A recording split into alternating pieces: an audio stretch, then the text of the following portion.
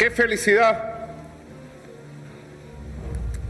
que 46 años después Chile ha despertado una revolución social que apunta hacia el camino de la regeneración constituyente de nuestra hermana República de Chile. ¡Felicidades Chile!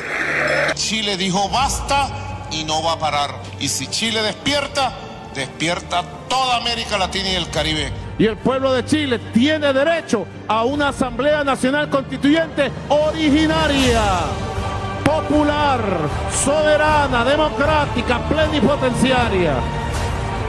Para preguntarle al pueblo si quería una Asamblea Constituyente que transformara el Estado. Ya nosotros lo vivimos. Nosotros lo vivimos entre el año 89 con el Caracazo el 92 y luego en el 99 con la Asamblea Nacional Constituyente Democrática que hizo junto al pueblo esta constitución. No podemos dejar de emocionarnos que en el año 2019 los pueblos en las calles digan constituyente. Y así debemos seguir articulando los partidos políticos progresistas, revolucionarios, de izquierda, avanzados de toda América Latina, del Caribe y del mundo con los movimientos sociales. Esa fue la estrategia que trazamos. Y vamos bien. Vamos mejor de lo que pensábamos. Así que al foro de Sao Paulo le puedo decir desde Venezuela, estamos cumpliendo el plan, foro de Sao Paulo. El plan va como lo hicimos. Va perfecto el plan. Ustedes me entienden. Foro de Sao Paulo, el plan va en pleno desarrollo. Victorioso el Foro Sao Paulo, a partir de Caracas, tiene que ser el escudo y la espada de los pueblos de América Latina en la defensa de sus procesos revolucionarios. No hay otra salida. ¡Viva Chávez! ¡Viva, Nicolás Maduro! ¡Viva la revolución bolivariana!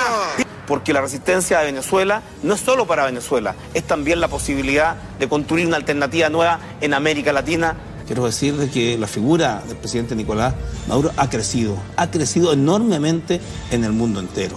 Así como la figura de Chávez, eh, yo lo he dicho, ya no le pertenece a Venezuela, no, se equivoca. Chávez le pertenece al mundo entero, algo que no se puede cuestionar. La isla es el sistema electoral venezolano que yo ya lo quisiera para mi país. Yo ya quisiera para Chile una asamblea constituyente y una constitución votada, construida por el pueblo. Tenemos una constitución maloliente. La constitución de Pinochet. Una vergüenza para todos los latinoamericanos, no solo para el pueblo de Chile. Una vergüenza que la constitución de un genocida sea la constitución todavía dominante. Nadie se atrevió a cambiar la constitución por cobardía. El abuso acumulado de 17 años de dictadura pinochetista y de los años de democracia donde se mantuvo la constitución de Pinochet, donde se mantuvo el modelo represivo de Pinochet, el modelo educativo de Pinochet, la Fuerza Armada de Pinochet. Ahora es el pueblo de Chile en rebelión en las calles que va a cambiar la constitución de Pinochet. Eso es grandioso y es heroico.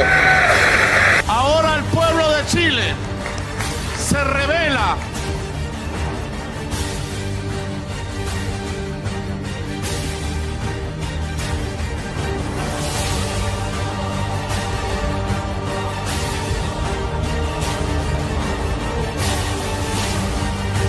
Nueva constitución para Chile. Constituyente. Ya en Chile ha arrancado un proceso popular constituyente. Quiéranlo o no,